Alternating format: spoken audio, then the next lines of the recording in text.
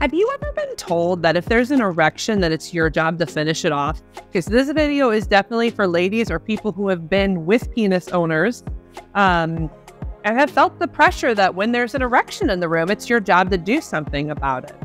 Um, actually, I was watching this comedian recently. Uh, we can quote her, Nikki Glaser, and she was talking about this this idea that like essentially, you know, once that uh, she she has this fear that when she is in that situation, she can never acknowledge the dick because as soon as she acknowledges that it's there, it's she has to do something. She has to give it a hand job, she has to give it a blow job, she has to have sex with it. But if there is an erection and she acknowledges it in the room, she has to do something. And so her whole special is all about don't don't don't don't even notice it. Keep your hands to yourself. You know, just avoid the fact that that dick's there. But you know what? What she's talking about is something that women are actually experiencing in this world. You, as a person, have probably been in a situation where your partner's got an erection and you're like, oh, sh- oh shit, there's an erection. I don't want to deal with that. It's there. Just pretend like it's not. I just, no, I don't want to, I don't want to. And that's, that's kind of what's going on. Um, so one, this is a myth. Just because there's an erection in the room doesn't mean you have to do something about it.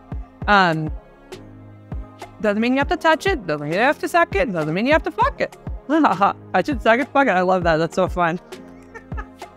now, how? What? What can you do with an erection when it's in the room? You can't acknowledge it without touching and just be like, "Yeah, I noticed you're erect." You guys can have a casual conversation about it. Where if you have a really cool partner, you might say, "Yeah, sometimes I get erections, sometimes I don't, and sometimes I'm interested, sometimes I'm not. Sometimes it's just there."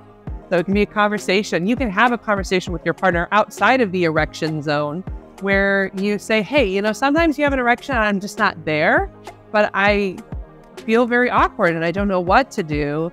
So, what, how do you want us to handle that conversation? Um, a lot of times, what you do need to hear from your penis owning partner is that it's okay for them to have an erection and that, like, if something happens, cool, but if something doesn't happen, they're going to be okay. Because where this comes from is the blue ball myth, actually, is that idea that if you don't get that erection off, then you're doing this horrible thing like giving them blue balls. The reality is, actually, vulva owners and penis owners have types of erections all the time that don't always get taken care of. Like an erection comes and goes throughout the day and throughout the evening, and like they sleep through it and they're fine. And actually, females and vulva owners have a similar thing where sometimes you'll feel a little excitement. And you're like, oh, I'm kind of a little horny or a little roused. But it just comes and goes and you're fine. You don't feel like I don't know what it would be called, blue ovaries. You don't feel blue ovaries. You just, you just, it comes and goes and you go on with your day. And like when they are at work and their erection comes and goes again, they still just go on with their day. They're not like, oh, I can't work right now. I have the worst experience. No, they just, we just move on with our days. So really what you need to do is have a conversation with your partner about, hey, when this happens, is there a way we can just kind of talk through it and just move on casually as opposed to, feeling like there's this pressure that, oh, there's a dick in the room, there's a dick in the room. Uh, you don't have to touch it, suck it, or fuck it. You can if you want, but it's your choice. So if you'd like to speak with me and work with me as a therapist, please submit a contact form at therapistinstlouis.com. Also, please like and subscribe